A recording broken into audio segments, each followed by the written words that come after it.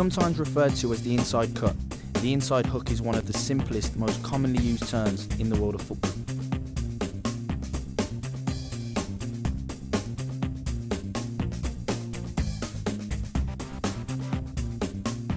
You must start by placing your standing leg next to the ball, between the ball and the defender.